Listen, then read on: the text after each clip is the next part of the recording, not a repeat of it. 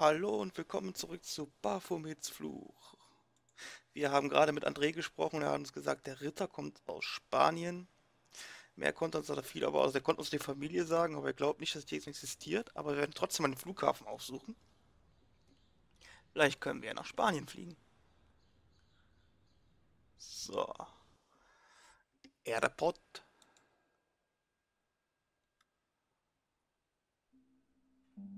Und ja. Lochmann ist ausgegraut, Mario ist ausgegraut, Villa der Vascolos, äh, Vascos, äh, wieder CD2.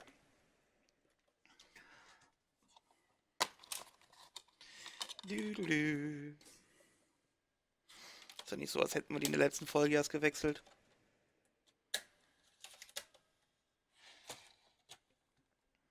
So. Knack, knack. So, schön laden bitte, weil schwarzes Bild ist langweilig.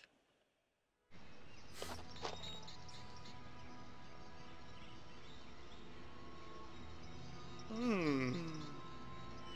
Das Wappen. Okay. Ich bin kein Architekturstudent, aber das kleine Gebäude sieht alt aus. Ob das vielleicht so eine Art Sommerhaus ist?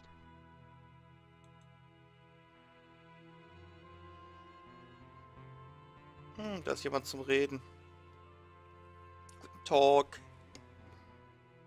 Hi, ist dies das Haus der Familie de Vasconcelos?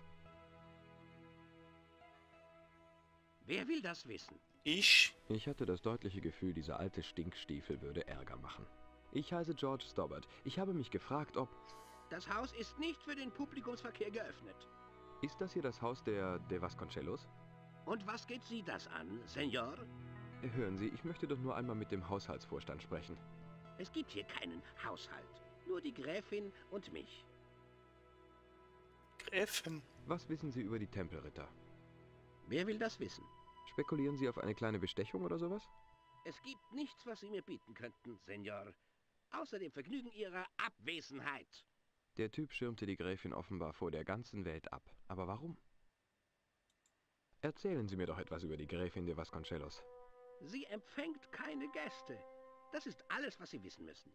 Sie wissen doch noch nicht einmal, worüber ich mich mit ihr unterhalten will. Hm. Sie hat ja wohl kaum in der Lotterie gewonnen, oder? Nein. Nein, sie hat nicht in der Lotterie gewonnen. Ein etwas gewitzterer Mann hätte jetzt behaupten können, dass sie gewonnen habe. Oh ja, sicher. Hätte er was? Hätte er tun können. Und dieser gewitztere Mann wäre dann vom Grundstück vertrieben worden. Die Gräfin spielt nicht in der Lotterie. Siehste?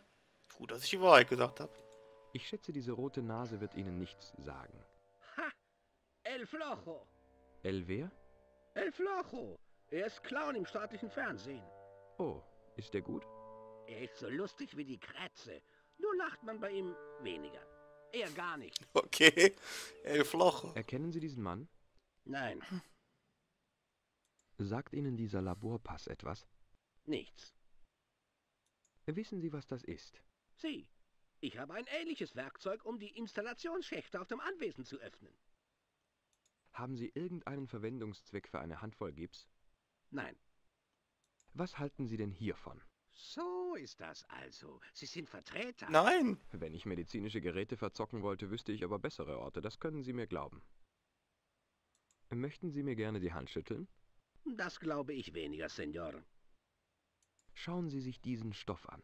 Das ist ein Lappen mit irgendwelchem schmierigen Zeug drin. Ja, das stimmt genau.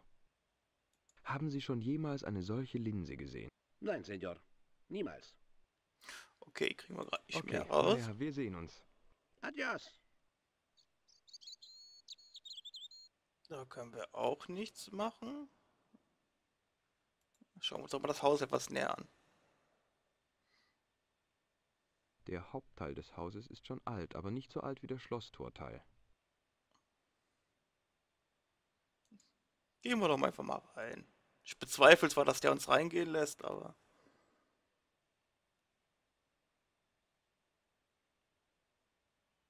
Hey, Sie, Ja, was gibt's? es würde Ihnen doch bestimmt auch nicht gefallen, wenn wildfremde Leute einfach in Ihre Wohnung spazieren würden, oder? Also nein, ich glaube nicht. Dann nehmen Sie doch selbst auch ein bisschen Rücksicht. Okay, sorry. Was ich vermutet habe, der lässt mich nicht so einfach da rein. Gehen wir mal nach hier. Was haben wir denn hier noch Schönes? Okay, da kommt was. Das ist ein Wasserschlauch. Aber zudrehen ist da nicht. Mir widerstrebt der Gedanke, 30 Meter Gartenschlauch mit mir herumzuschleppen, also lasse ich ihn einfach liegen. Okay. Der Schlauch führt von einem Geräteraum bis hinunter zum Rasen. Nur da weiß ich zum Glück noch aus dem Kopf von damals, was zu tun ist.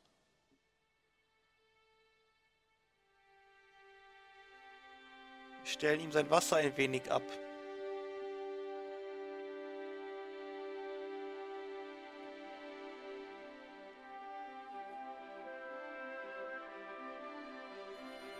Jupp. Schlauch hat aufgehört zu spritzen. Mein Beileid. Wirklich? Sie, mein Schlauch hat noch nie aufgehört zu spritzen. Naja, tut mir leid, das zu hören. Es ist immer etwas traurig, wenn eine alte Tradition endet. Hatten Sie etwas damit zu tun? Ja, Sie. Also, ich bin schockiert. Ich bin zu Stein erstarrt. Wie können Sie so etwas nur denken? Diese leicht sexuelle Anspielung, mein Schlauch hat aufgehört zu Ich werde spritzen. jetzt herausfinden, warum mein Schlauch aufgehört hat zu spritzen. Und dazu werde ich in das Haus gehen. Sie jedoch werden keinen Fuß in das Haus setzen. Denn wenn Sie das täten, würde ich ja die Hunde auf Sie hetzen. Okay.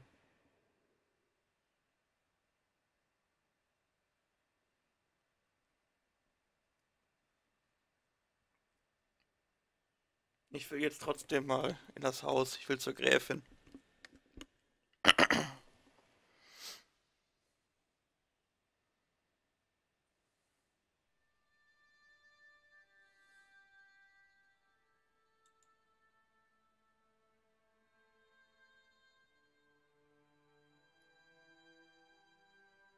Sie da, auf der Treppe. Entschuldigung. Ups. Ich weiß, wie das aussehen muss, aber Schauen Sie, Senor, alles, was ich will, ist ein friedliches Leben. Ein Leben, in dem keine verrückten, einbrechenden Ausländer vorkommen. Sie verstehen? Ja, hören ich, Sie, ich wollte ja nur ähm, die, die Toilette benutzen. Gehen Sie jetzt, bitte. Okay, ich gehe ja schon.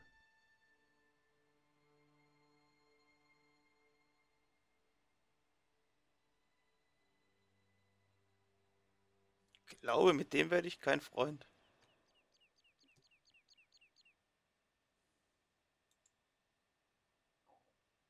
Neuer Versuch.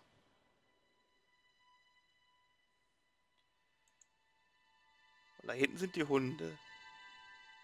Stecken wir uns doch mal hier. Die Rüstung hat etwa meine Größe. Ich stelle mir kurz vor, wie ich sie anlege und dann losdröhne, die Gräfin besuchen, während der Gärtner hilflos außen dran hängt und versucht, mich aufzuhalten. Abgesehen davon, dass er dämlich und undurchführbar ist, wäre das ein prima Plan. Hm. Okay, vielleicht doch erstmal zu den Hunden. Und dann hin zur Rüstung.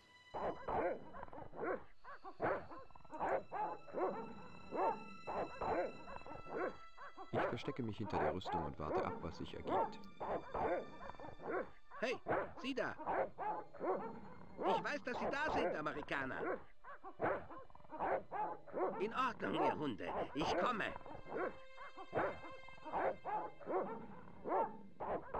Wuff, wuff.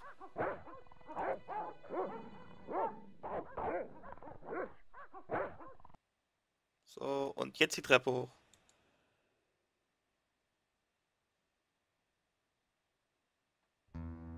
Die Gräfin. Madre Dios, wer sind Sie? Ich heiße George Stobbart. Es tut mir leid, dass ich hier so reinplatze. Verlassen Sie sofort mein Haus. Sie sind hier unerwünscht. Bitte, hören Sie mir nur eine Minute zu. In Ordnung. Sagen Sie, was Sie zu sagen haben, Senor Stoppat. Es hat eine ganze Reihe von Morden gegeben. Sie sind Teil einer Verschwörung.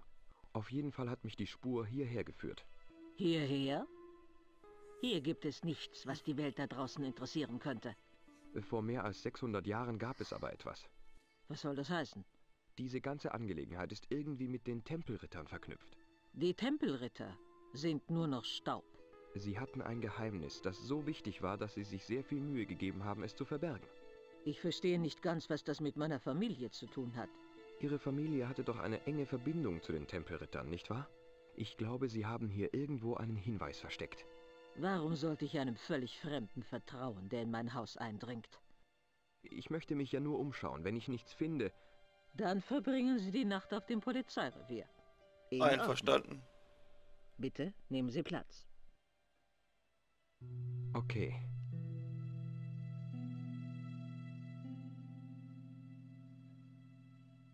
Ich weiß, dass Ihre Familie etwas mit den Tempelrittern zu tun hat, aber ich weiß nicht genau was. Sie sollten lieber fragen, was meine Familie damit zu tun hatte, Senior Stoppard. Die Tempelritter haben vor Jahrhunderten aufgehört zu existieren. Und was die De Vasconcelos angeht, so wird dieser Familienname mit mir aussterben. Das tut mir leid. Kein Grund.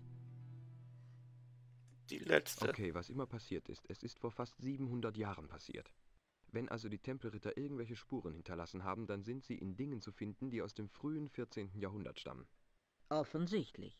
Also was gibt es hier, das aus dem frühen Mittelalter stammt? Frühes Mittelalter. Lassen Sie mich nachdenken. Naja, das Haus selbst ist relativ modern. Kaum 300 Jahre alt. Oh, natürlich. Relativ modern. Kaum 300 Jahre alt. Diese Schachfiguren sind über 600 Jahre alt?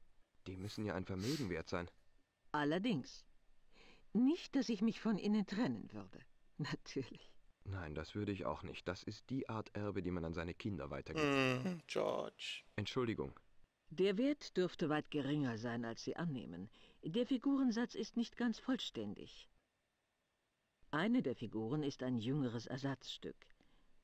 Das Original ging vor langer Zeit verloren. Weiß denn niemand, wo es abgeblieben ist? Nein. Die Kinder hatten es, als sie verschleppt wurden. Kinder? Was für Kinder? Alles schön der Reihe nach, Senior Stoppard. Darf ich die Schachfiguren untersuchen? Sicher. Aber bewegen Sie bitte keine davon. Okay, danke. Aus der Nähe fiel die neuere Figur auf wie ein kaputter Finger. Noch etwas anderes war komisch an den Figuren. Alle Originale hatten unregelmäßige Fußstücke. Oh, Herrje, hallo. Ich muss euch warnen. Da ist ein... Sie! Ich werde sie an die Hunde verfüttern. Lopez, was habe ich Ihnen gesagt wegen dem Verfüttern von Eindringlingen an die Hunde? Aber, edle Herrin, Niemals ohne meine Erlaubnis. Senior Stoppard, wenn ich das Gefühl bekomme, dass Sie meine Zeit verschwenden, werden Sie an die Hunde verfüttert. Und jetzt möchte ich Ihnen etwas Interessantes zeigen. Folgen Okay. Sie mir.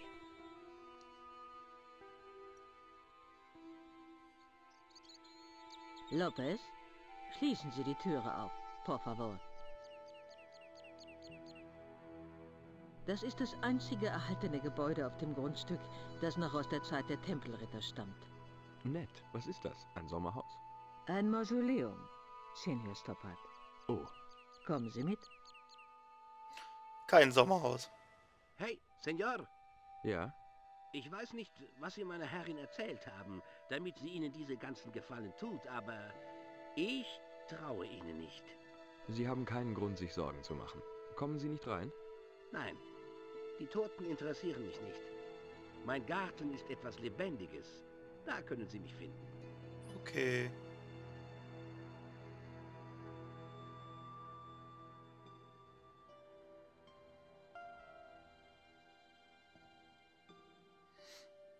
Okay. Wow, das ist alt. Das Mausoleum wurde im 13. Jahrhundert als letzte Ruhestadt für die Templer der De Vasconcelos errichtet. Es ist gut gepflegt. Das hier sind meine Vorfahren.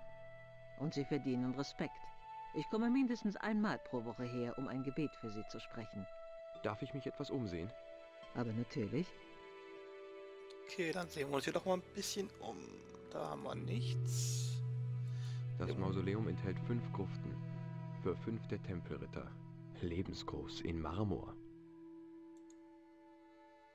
Ich werde doch hier nicht anfangen, Sarkophagdeckel hochzustemmen, während die Gräfin daneben steht. Okay, das machen wir dann nicht, oder? Das, das Mausoleum in Tepper sagt er das gleiche. groß, in Marmor. Okay, da sagt er das gleiche. Da haben wir eine... Ich komme da oben nicht dran. Kommen wir nicht ran? Okay. Das ist ja klar, das ist zum Zumachen. Was haben wir denn da schön? Eine große Statue der Jungfrau Maria bewacht alles. Okay, da sind noch zwei Kerzen. Vor dem Schrein sehe ich einen Stehpult mit einer Bibel drauf. Sehen wir uns die Bibel doch mal an. Als ich die Bibel entferne, sehe ich ein Muster auf der Ablagefläche des Pultes. Hey, das ist ein Schachbrett. Was es denn mit diesem Schachbrett oder auch Muster auf sich hat, erfahren wir aber auch in der nächsten Folge. Vielen Dank fürs Zusehen, sagt euer Snaker. Ciao.